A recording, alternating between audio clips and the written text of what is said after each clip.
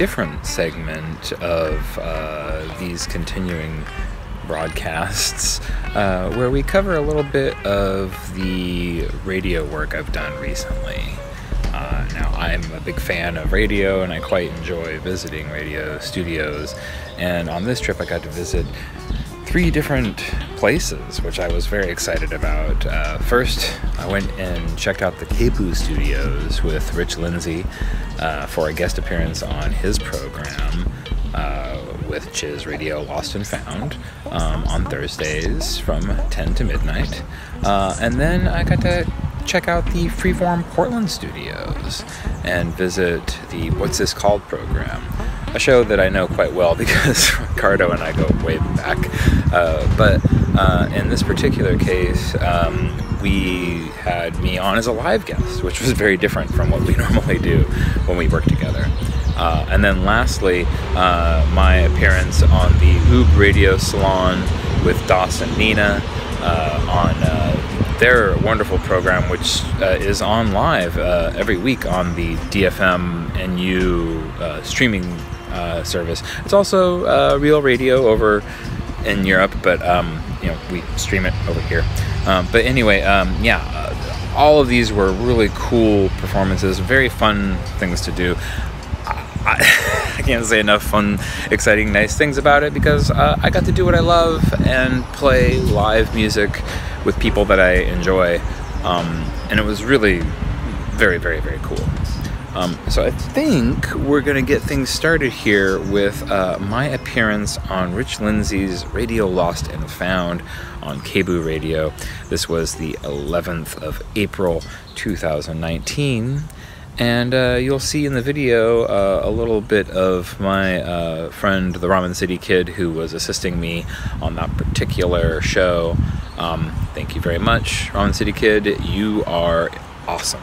Um, he and I go way back, and I think that he's probably funnier than I am, and I hope that the words that I gave him to read uh, are as funny as he is, or at least reflect some of that. Um, but yeah, uh, and then you'll see Rich and him and whatnot wandering around, and I oh I use a little bit of uh, Rich's uh, footage as well um, in the video very cool. Uh, his show is great, and uh, KBOO Studios is really fun. And um, yeah, check it out. Here it is.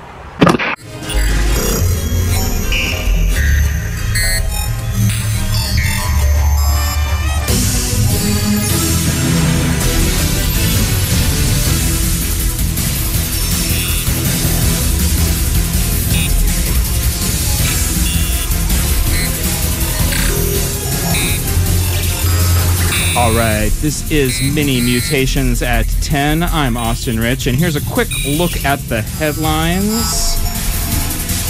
Brought to you by Capitalism. If you enjoy the benefit of exchanging goods and services, but feel that it lacks the creepiness and discomfort of riding public transportation, why not try capitalism? It offers an economy that you're looking for with all the hideous nightmares that you've come to crave. Make a transaction or something worse today. And now, here's Travis with a story from our science desk. And later in the program, the circus comes to town. What you need to know to protect both you and your family. Travis? Thank you, Austin. And tonight, the recently photographed black hole has requested that people online stop distributing its photo. Quote, please stop tagging me, stop sharing it, and please don't use it for any of your stupid memes. The black hole was happy to snap a photo with Katie Bouman as they both work together, but since the photo has gone viral, the black hole feels that its privacy and security are at risk. And with photos like this going around, it does not reflect the much more mature look that the hole now has these days. Users found sharing the photo will find need to escape will find need to escape the digital gravity of contributing to the problem. And if we are to culturally take a step out of the event horizon of violating privacy concerns. Austin? Thanks, Travis. And on the lighter side of the news, it appears that the circus has come to town. But gone are the days of flying elephants and drunk clowns, which are now relegated to CGI flights of fancy. For some reason, they also featured Danny DeVito. No circuses these days are tame affairs.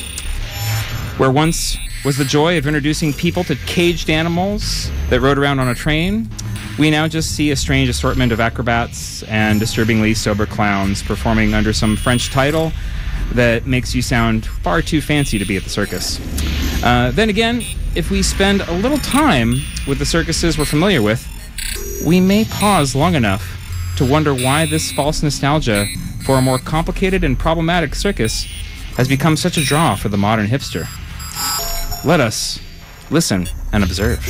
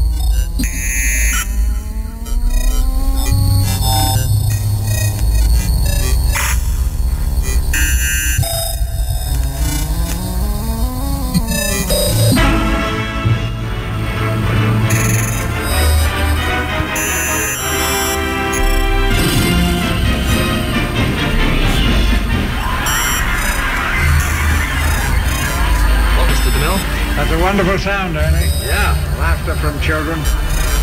Children of all ages. Everything forgotten.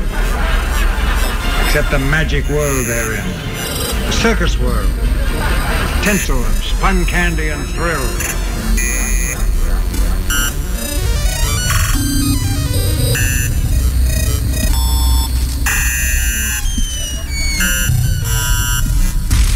I hope it works. This is just a concrete protector, but the wall behind it, and you see it all the way down, and uh, we're going to be building, we've already built a lot of it. It looks great. It's better and much more effective than the previous wall. See us bring your favorite show back to town. You know, one of the reasons we made the greatest show on earth is because the world needs laughter today. We have a system that's full. It's just full. And I was telling some of the people before, if it's full, there's nothing you can do about it. That kind of laughter. But the real circus story is more than laughter. Another question for you on social media. You tweeted in support of Congressman Nunes's suit against Twitter. There's part of a larger discussion that Senator Josh Hawley's been leading about making social media uh, companies liable for the content that is on their platform. It's an exciting story, a human story. A story that was a tremendous problem to. The circus never stands still. Circus is wheels, rolling wheels. Some horrible court decisions that have been made over the years. It's very unfair, and that's the way it is. But uh, the system is full. And we actually can do it faster, and it's, uh, it's less expensive. If you Wagon wheels, truck wheels, train wheels, a world on wheels, fighting wind and rain and mud and flood, and above all, fighting time.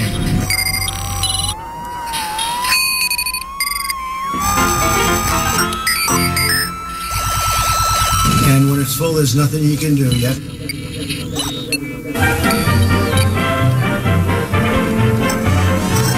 Hi, everybody. And when it's full, there's nothing you can do. You here's have where to say, I'm sorry, we can't get take to Horses out of their cars, wagons to unload and get out to the circus ground. We're used to this. Do it every day in a different town. Here goes a load of tent poles. Our country is full. down. Our area is full. We to keep moving. We from Hollywood had to travel over 60,000 miles to film our story of this.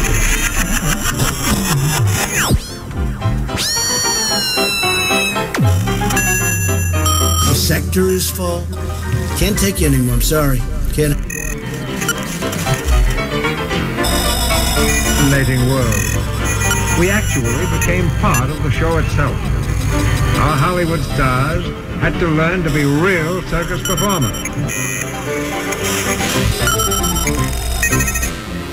Unbelievable. So it's better, faster, and less expensive. Well, that who knows? Some of it's 30 feet, some of it's 15 feet, some of it's 12 feet, depending on the area. always use more help, and here's Big Blanche, our largest elephant and leader of our herd.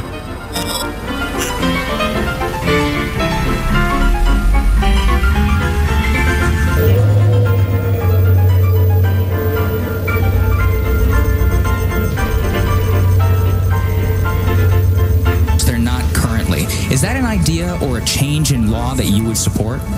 Well, we have to do something. I tell you, I have uh, many, many millions of followers on Twitter. New tricks later on, but right now, they are off for the showgrounds a mile or so away to help put up the Big Tent. Much of it's reinforced heavily and very, very hard to climb. If you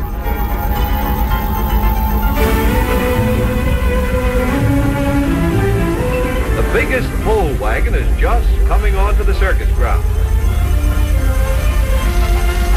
The elephants are right in time to be put to work.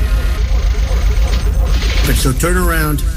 That's the way it is. We expect to have close to 400 miles done within about uh, two years from now. That's a lot.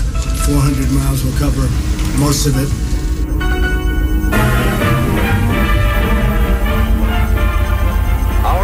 Circus men are on the job too, along with a lot of folks from your hometown.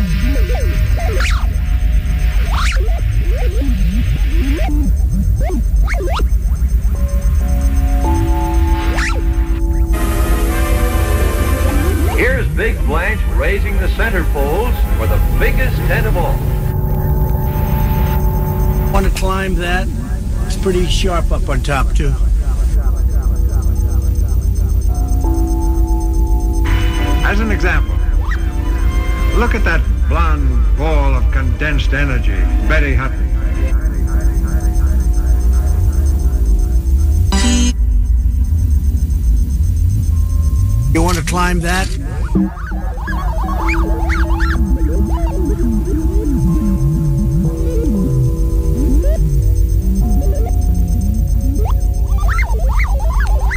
And it's different than it used to be.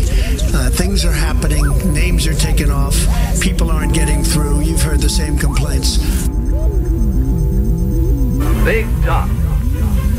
It will tower 55 feet in the air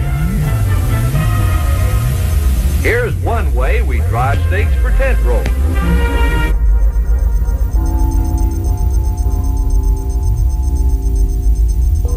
You deserve whatever you can get.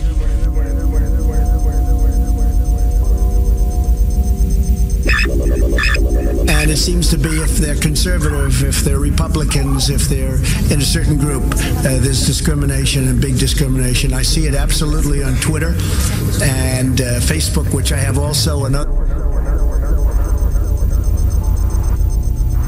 What a workman she is. To play Holly, the trapeze artist, she trained for months with Antoinette Concello, one of the world's great aerialists. Audiences couldn't believe that they actually saw what they actually saw.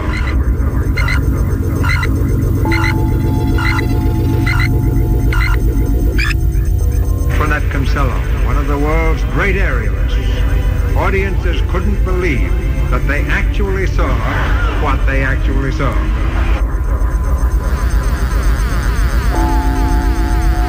But it's a very, very hard. It's meant anti-climb. It's called anti-climb.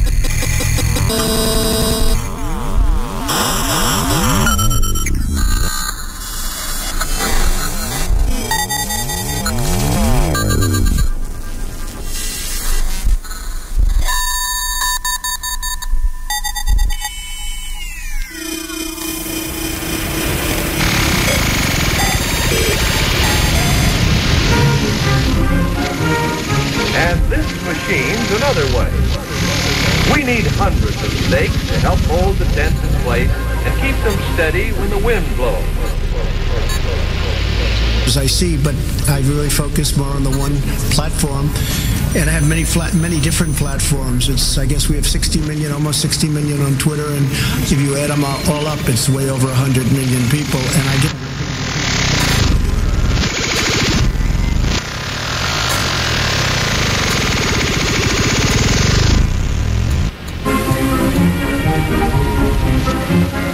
Now, canvas for the big tent.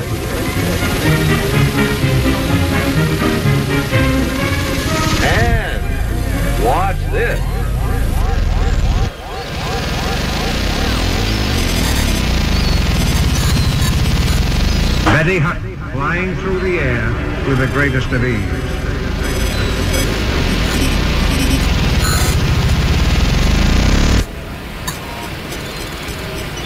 A man once was happy, but now he's forlorn. Like an old coat that is tattered and torn. Left in this wide world to weep and to mourn. Betrayed by a maiden her teens. Oh, this maid that he loved, she was handsome. And he tried all he knew her to please. But he never could please her one quarter so well as the man on the flying trapeze. I float through the air with the greatest of ease. The daring young flying trapeze. My actions are graceful, oh girls I do please. And his love I purlineth away. I play with the mist like the cat with the mouse. My eyes would undress every maid in the house. Perhaps I am better described as a louse, but still people come just the same. I smile from the bar on the people below. And one night I smile on his love. She blew me a kiss and she hollered, Bravo, as I hung by the bar from above. Through the air with the greatest of ease. The daring young man on the flying trapeze. My actions are graceful, all girls I do please. And his love I purloineth away. Some months after that, he came into a hall. To surprise, he found there on the wall in red letters, which did his heart gall. But she was appearing with me. I taught her gymnastics and dressed her in tights to help me live at my ease. I made her take on a masculine name. And now she goes on the trapeze. They float through the air with the greatest of ease. The daring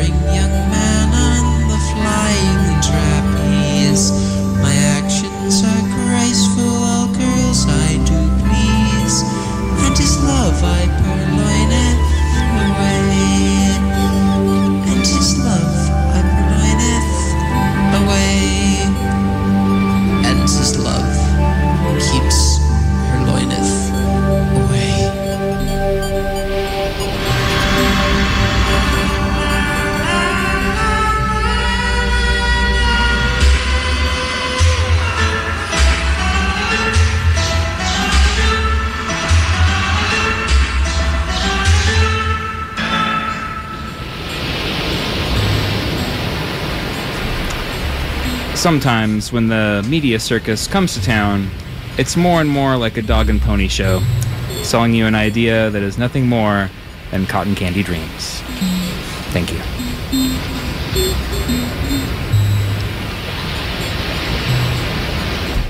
And that was my live appearance on KBOO with Rich Lindsay on uh, Radio and Found.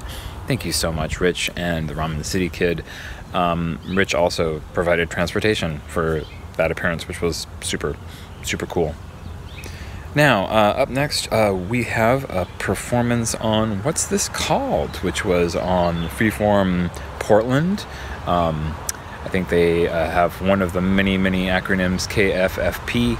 Um, but yeah, uh, I've known Ricardo for quite some time, and when I was coming through town, I didn't even really have uh, the idea of appearing on his show. I was just kind of like letting him know, hey, uh, let's get together, let's do something. Uh, as soon as I contacted him, he booked me for his radio program and for a live appearance in a record store on Record Store Day. so uh, I cannot thank Ricardo enough. Um, I didn't even ask him for this, and uh, I got it anyway. So uh, you are excellent, dude. Thank you so much. Um, so here's a video from that, which also includes Office Products, uh, which was super cool. Office Products was playing the show uh, that day at the record store as well, and so Ricardo talked us both into joining him on the radio, which was really excellent. I'm a big fan. Uh, so yeah, you're gonna get to see me and uh, Doug Therio and David Chandler uh, in that order. It's really neat. Uh, I'm excited, and it looks like this. So, all the way from Salem, Oregon, with uh, no further ado, I guess this is uh, Mini Mutations.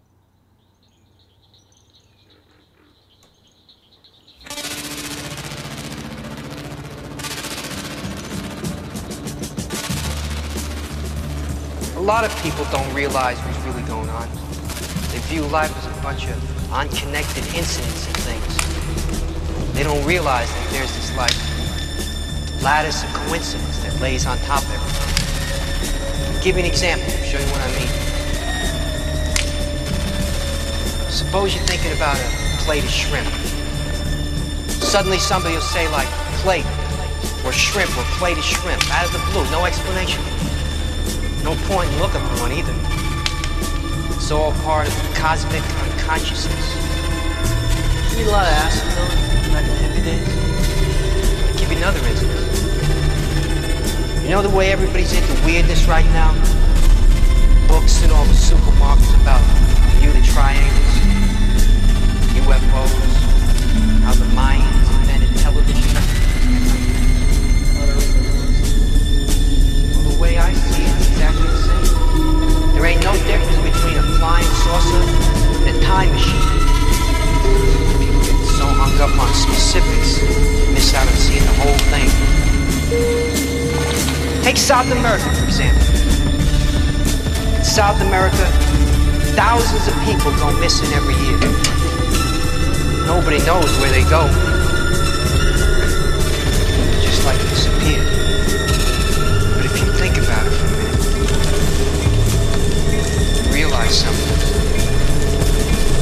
Be a time when there was no people, right?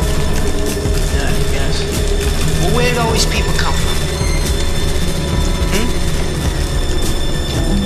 I'll tell you where. The future. Where'd all these people disappear to? Hmm? That's right. How'd they get there?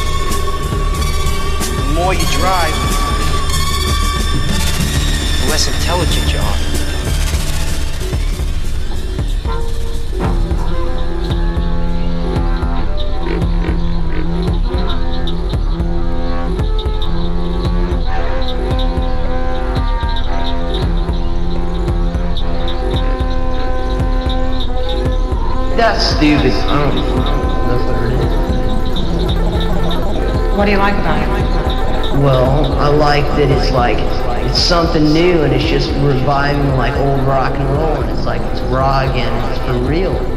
It's fun, you know. It's like like it's not visual. There's no rock stars.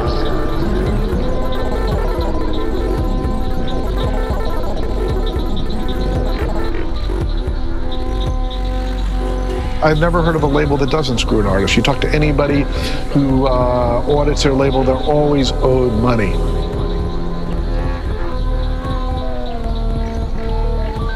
Music is life, it's part of everything. Music is a gift. Music is the only thing that's ever made sense to me.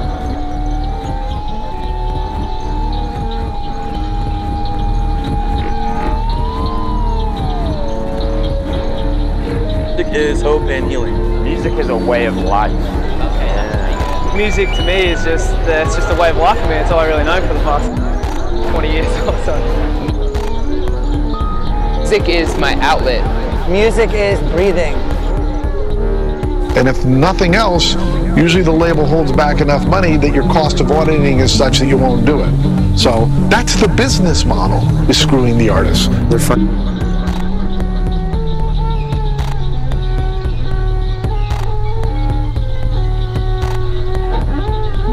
Financial practices have been shady since the beginning of time.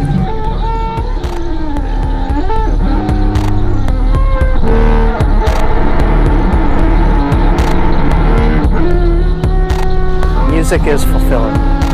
Music is happiness. Music is essential. Create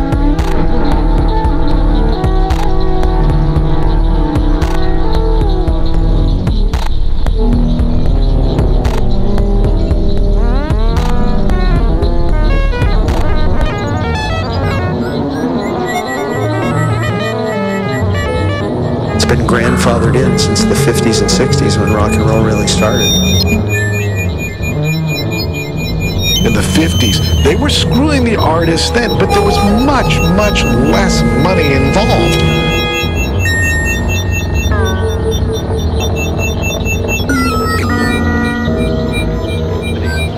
Everything. My inspiration.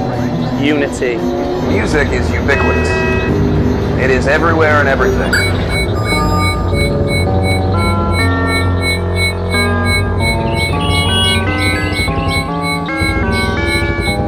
Then as you start to go into the 60s and 70s, the hit ratio is so bad that they're saying, hey, you know, we can't pay the hit artist because he's paying for all the bad artists.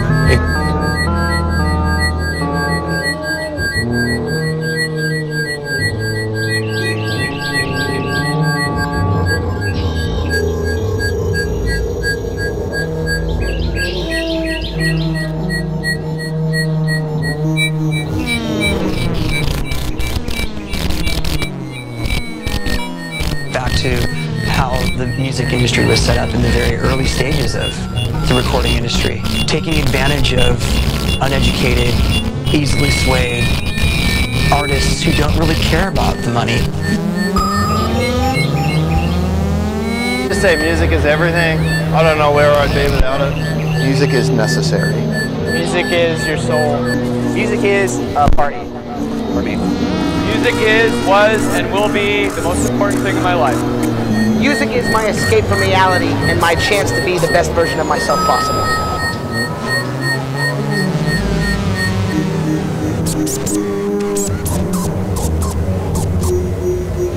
Music is my outlet. Music is cool. Bad ass. Friggin' sweet. Unfortunately, there's a lot of fallout but um, still with bands getting paid. You know, we had to sue our label to get paid. They've created this strange, convoluted system that you have to be a lawyer to really understand.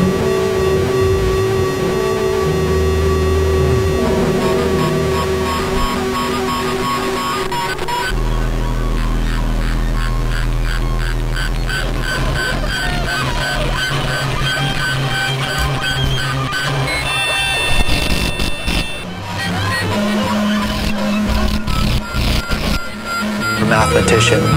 A typical record deal is structured something like this. The record label gives in advance, say, $250,000 to the artist to record an album. The artist then records the album. Suppose that the album sells 500,000 copies at $10 each, yielding $5 million.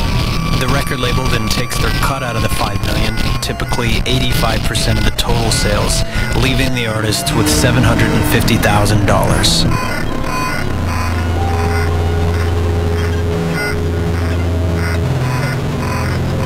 Crazy! Music is rad. Music is what keeps me from doing bad things.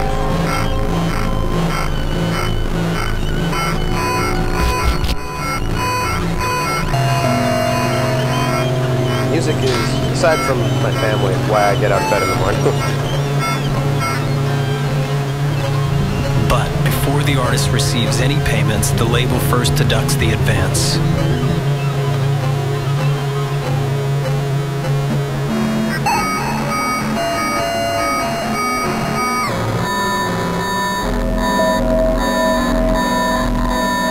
Addition, the record label recoups other costs such as recording costs, half the promotion costs, half the video costs, and tour support. Music is purpose. Music is world peace. Because no one really like fights over music like that. Unless it's on the internet. Unless it's on the internet. Music.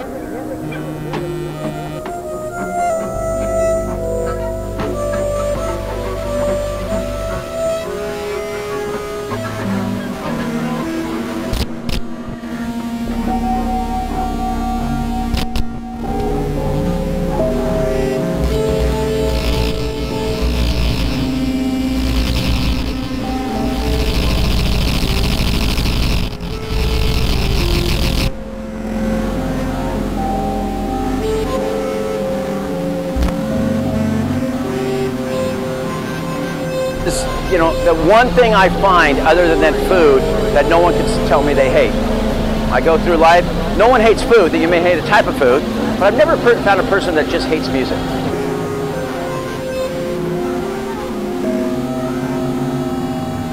This leaves the artist $425,000 in debt to the record label.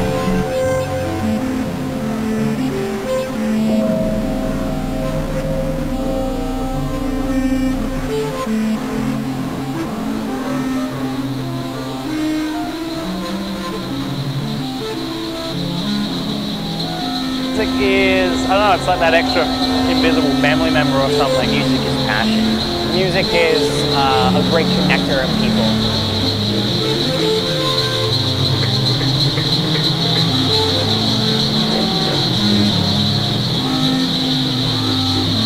Music is the solution. Music is really the biggest way that people can connect to one another. And then this debt gets carried on to the next album, the next album, and the next album.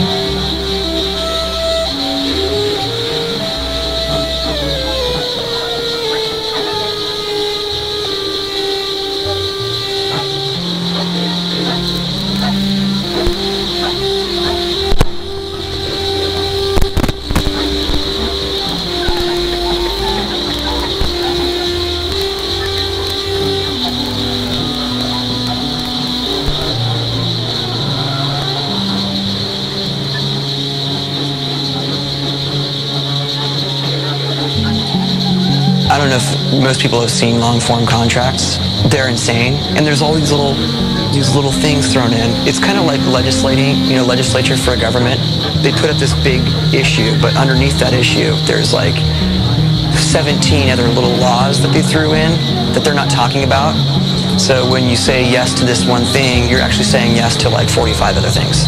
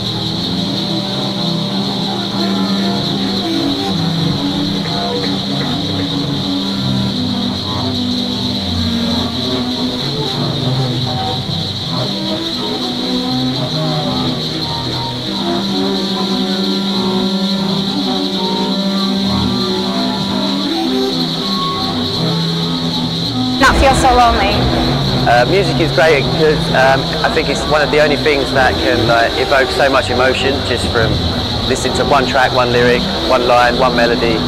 And I think that's all you need and it can get you through anything.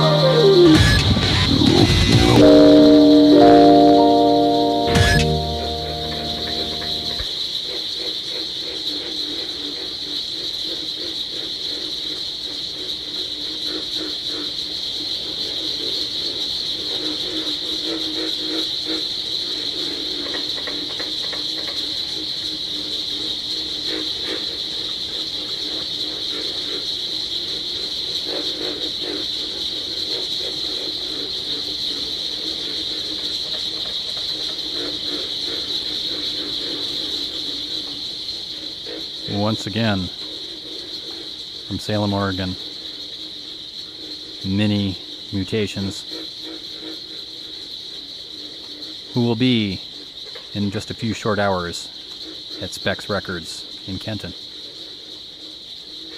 Along with Office Products and a couple other bands. Office Products will be next.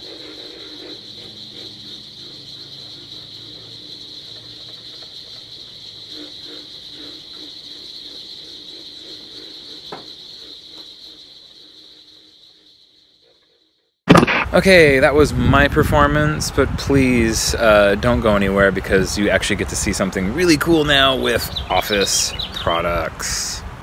Here's Office Products.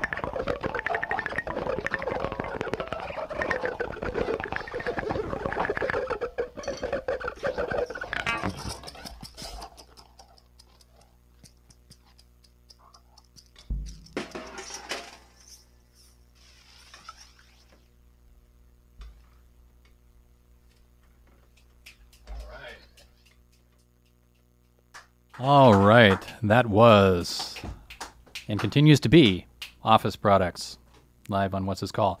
Not to be confused with Office Projects, who you might uh, encounter online. you uh, tagged him that way.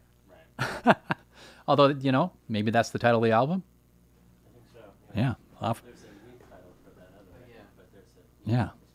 Office Products with Office Projects live on What's This Called. They will be at Specs Records uh, in a couple hours, um, really. Um, Yep, 6 p.m. the show starts. Uh, there's some other bands playing, and uh, and Office Products will be in the mix. Uh, I think you guys are going on third, if I if I remember hearing right, because you had a friend that needed to get done with work or something. We try to be accommodating. You know, everybody does, and, and here at Freeform Portland, we try to be accommodating too. So, uh, you know, reach out and tell us what, what you like to hear and what you like to do, and maybe even get your own show. You know, it's it's a good thing to do everybody should get a radio show and uh, be broadcasting all the time, in my opinion. Share, yeah, share communication. You know, that's what the, the biggest problems in the world are. Are uh, people don't do creative things and, and share it with other people. In my opinion, they, there's too much uh, too much being fed.